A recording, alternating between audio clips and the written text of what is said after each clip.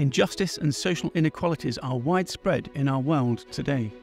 From discriminating against communities based on their ethnicity or religion, to the disproportionate impact of ill health and disability on economically disadvantaged areas. We find these disparities unjust, and we are committed to making a positive change.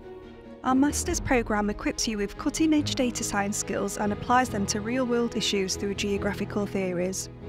You will use computer programming and GIS tools to do tasks such as develop machine learning models and identify locations of spatial inequalities.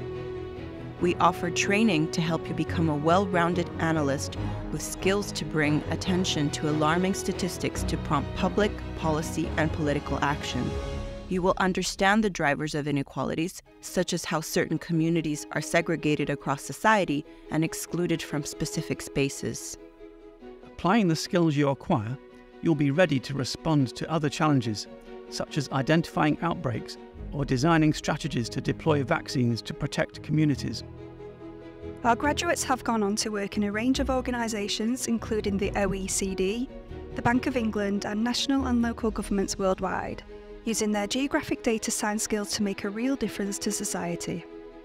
Join us at the University of Liverpool. Contact us today and learn how to harness the power of geographic data insights to drive positive change in society.